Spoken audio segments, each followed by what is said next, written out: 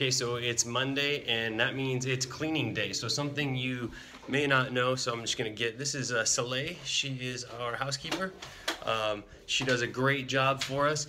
That is included in our rent. In most of the places that you will rent in Costa Rica, they will include uh, housekeeping service. Oftentimes, the property property managers uh, require it and or uh, just encourage it simply so that they can make sure that the place is being kept in good order and also that it's you know just clean and and habitable okay?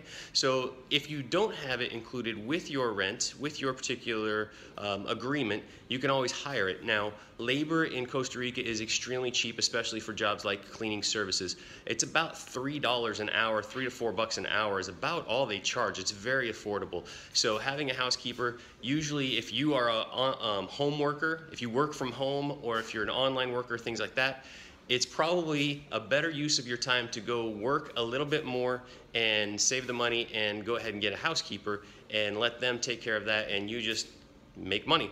So something to consider. Uh, one of the bonuses of living here is usually housekeeping. So just wanted to share that out there, that tip out there. it is also good to uh, give them tips once in a while, uh, you know, holidays, things like that, uh, just to encourage them.